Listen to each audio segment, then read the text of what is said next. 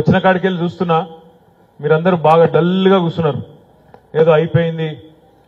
అది ఉంటుంది చూడ దశ దిన కర్మ కోతే ఎవరో చచ్చిపోయినాక పదవ పదవ దినానికి పోతే డల్గా అందరు ఇట్లా కూర్చొని ఉంటారు. అట్లా కూర్చొని ఉన్నారు మీరు. ఏమైంది? అంత రందిపడేంత బాధ ఏమైంది మనకు? ప్రజలు పద్నాలుగేళ్ళ పాటు ప్రజల ఆదరణతో ప్రజల దీవెనతో మొదలు పద్నాలుగేళ్ళు కారు రై రై రై అని వంద కిలోమీటర్ల స్పీడ్తోని ఆనాడు కాంగ్రెస్ గుండెల్లో రైలు రైలు ఉరికిస్తూ పద్నాలుగేళ్ళ ఉద్యమంలో వంద కిలోమీటర్ల స్పీడ్తో ఉరికినాం.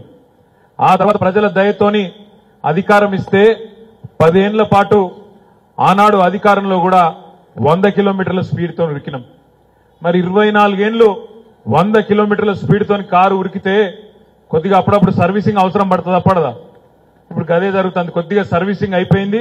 మళ్ళా పార్లమెంట్లో రోడ్ ఎక్కినామంటే మళ్ళా వంద కిలోమీటర్ల స్పీడ్తో ఉరకాల్సిన బాధ్యత ఉరికించే శక్తి సత్తా మీకే ఉన్నదనే మాట కూడా నేను విజ్ఞప్తి చేస్తున్నా. ఎందుకంటే ఏదో బాధలో ఏదో జరిగిపోయింది అనే ఒక ఆవేదనలో మీరందరూ చాలా డల్గా కూర్చొని అయ్యో మన ప్రభుత్వం పోయింది. కేసీఆర్ గారు ముఖ్యమంత్రి కాదంటే మాకు జీర్ణమైతే లేదు. ఇంకా కూడా చాలా ఊర్లల్లో అదే రకంగా ప్రజలు మాట్లాడుతున్నారు రైతులు మాట్లాడుతున్నారని కలిసినప్పుడల్లా ఏ ఊరికి పోయినా ఏ జిల్లాకు పోయినా మన నాయకులు మన కార్యకర్తలు చెప్తున్నారు. నేను మిమ్మల్ని అందరినీ ప్రార్థించేది ఒకటే. ఆలోచించమని కోరేది కూడా ఒకటే. ఇది ఒక రకంగా మన మంచికే జరిగింది. ఎందుకంటే మనకు ఏదైతే దిష్టి ఉండేనో ఆ దిష్టి కూడా పోయింది ఈ దెబ్బకు. నిజంగా చెప్తున్నా ఇది. ఇంకో మాట కూడా నేను చెప్తా ఉన్నా. నిజంగా ప్రజలకు కూడా మన సారు కేసీఆర్ గారి విలువ తెలిసి రావాలంటే ఇది జరగవలసిన అవసరం కూడా ఉండే. ఎందుకంటే చీకటి ఉంటేనే వెలుగు విలువ తెలుస్తుంది. ఇట్లాంటి వల్ల సన్నాసుల పాలన ఉంటేనే ఒక సమర్థుడి పాలన యొక్క విలువ కూడా ప్రజలకు తెలుస్తుంది అనే మాట కూడా నేను మీకు విజ్ఞప్తి చేస్తా ఉన్నా. నిన్నగాక మొన్న నేను మన సిఈ గారు ఉంటారు మన కాళేశ్వరం ప్రాజెక్ట్ సిఈ గారు. ఆయనతో మాట్లాడింటి. మాట్లాడితే ఆయన అన్నాడు ఒక మాట. మరి సార్ మా దగ్గర నీళ్ళు వస్తలేవు. మరి ముఖ్యమంత్రి ఈ ప్రభుత్వం ఏమో మా మీద కోపం రైతుల మీద చూపెడుతున్నది.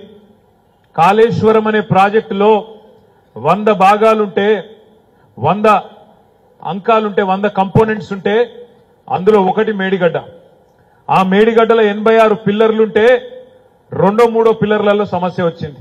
అంటే కాళేశ్వరం ప్రాజెక్టులో వంద ఉంటే వందల ఒకటి మేడిగడ్డ.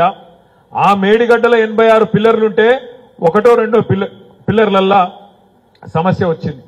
కానీ మీరు టీవీ చూస్తే యూట్యూబ్ చూస్తే రేవంత్ రెడ్డి మాటలు వింటే ఉత్తమ్ కుమార్ రెడ్డి మాటలు వింటే ఎట్లా అనిపిస్తుందంటే మొత్తం లక్ష కోట్లంతా గంగపాలైనాయి గోదావరి పాలైనాయి దండుగైపోయింది మొత్తం ప్రాజెక్ట్ అన్నట్టు అడ్డగోలుగా మాట్లాడుతున్నారు. అందుకే మేము పోయినాం మన కాళేశ్వరం ప్రాజెక్టుకు. కొంతమంది ముఖ్య నాయకులను మాత్రమే పిలిచినాం.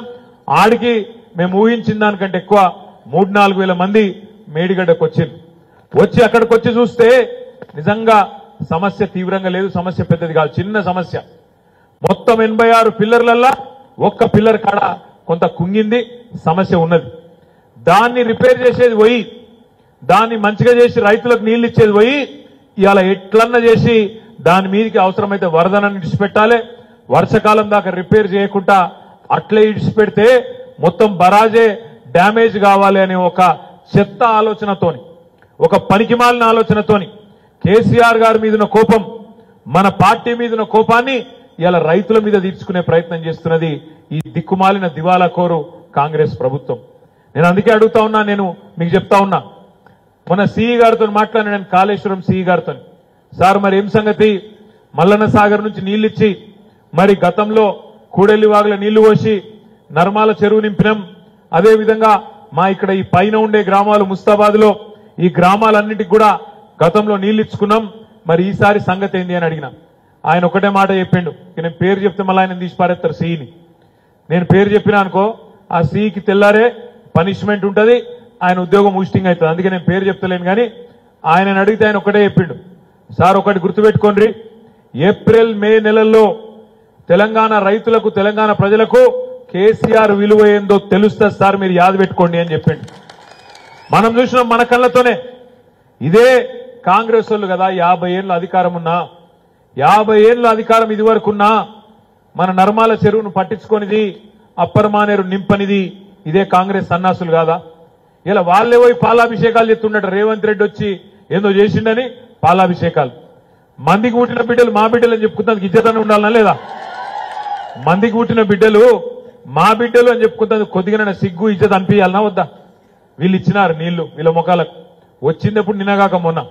ఎంత సిగ్గులేనుడి ముఖ్యమంత్రి అంటే మనం ఇచ్చిన ఉద్యోగాలు కూడా ఈయన పత్రాలు ఇచ్చుకుంటా నేనే ఇచ్చిన ఉద్యోగాలను నరుకుతున్నాడు గంత దగులుబాజీ ముఖ్యమంత్రి ఈయన గాయన ఒక ముఖ్యమంత్రి ఇక ఆయన కింద పనిచేసే సన్నాసులు వేరే తిరిగింది కూడా గట్లే ఉంటారు.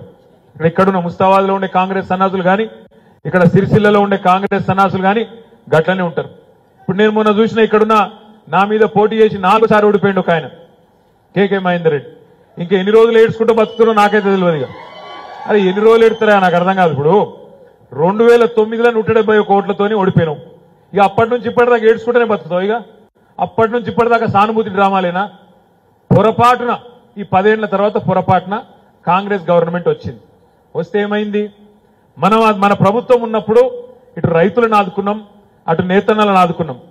నేతన్నలకు బతుకమ్మ చీరలు ఇచ్చి ఆర్డర్లు ఇచ్చి వాళ్ళ బతుకుదేరుకు తిప్పలు లేకుండా సిరిసిల్లలో అదేవిధంగా ఘర్షకృతిలో ఇంకా కొన్ని ప్రాంతాల్లో ఉండే నేతన్నలను అరుచుకున్నాం చూసుకున్నాం వాళ్ళకు పొట్టకు బట్టకు తిప్పలు లేకుండా ఒదికు ఆడబిడ్డలకేమో ఒక చీర బతుకమ్మకు ఒక చీర ఇచ్చినాం వాళ్ళకు బతుకుదెరువునిచ్చే ప్రయత్నం చేసినాం. మరి ఈ ప్రభుత్వం వచ్చినాక అన్ని క్యాన్సిల్ చేస్తాంది. ఇప్పుడు మన దుబ్బాక ముస్తాబాద్ రోడ్డును క్యాన్సిల్ చేసినట్టే ఇది కూడా చేస్తారేమో ఈ దౌర్భాగ్యులు అని చెప్పి నేను అడిగిన మంత్రిని పోయి. తుమ్మల నాగేశ్వరరావు అని మంత్రి ఉంటాడు ఆయనను అడిగిన. ఏం సార్ మరి మా సిరిసిల్లలో పొట్ట కొడతావా?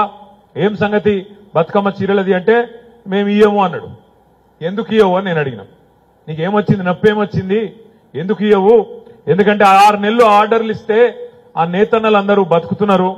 మీరు కత్తి కట్టినట్టు రైతులకేమో నీళ్ళు ఇయ్యరు నేతన్నలకేమో చీరల ఆర్డర్ ఇయ్యరు. ఎట్లా బతుకుతారు? నేను అన్ని మంత్రి గారిని అడిగిన. అడిగితే ఏమో ఇక పైన నిర్ణయం తీసుకున్నారు నేనేం చేయాలి అన్నాడు. ఆయననేమో అట్లా మాట్లాడతాడు.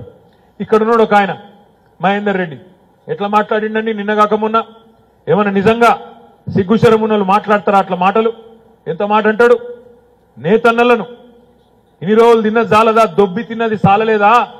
బతకని వాళ్ళు. నిరోజు పొట్లాలు అమ్ముకొని బతకని పాన్ పరాగులు అమ్ముకొని బతకని అని సిగ్గు లేకుండా మన తమ్ముడు ఒక రిపోర్టర్తోని నోటికొచ్చిన మాటలు మాట్లాడిండు. ఏం తప్పు చేసిండు ఆ తమ్ముడు? ఆ రిపోర్టర్ ఏం తప్పు చేసిండు? ఆయన చేసిన తప్పల్లో ఒకటే. ఇక్కడ ఉన్న నేత కార్మికుల స్థితిగతులు కాంగ్రెస్ ప్రభుత్వం వచ్చినాక వాళ్ళు పాపడాలు అమ్ముకుంటుండ్రు రోడ్ల మీద ఇవాళ దివాలా తీసిపోయే పరిస్థితి వచ్చింది.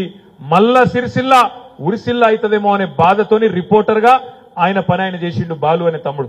ఆ తమ్ముడిని పట్టుకొని నువ్వు సన్నాసి అని మాట్లాడతాడు. ఇదేనా? ఇప్పుడు పదేళ్ళు మనం కూడా అధికారంలో ఉన్నాం. ఎవరినైనా ఒక మాట అన్నామా కాంగ్రెస్ వాళ్ళను. కానీ ఇలా బాధతో అంటున్నా.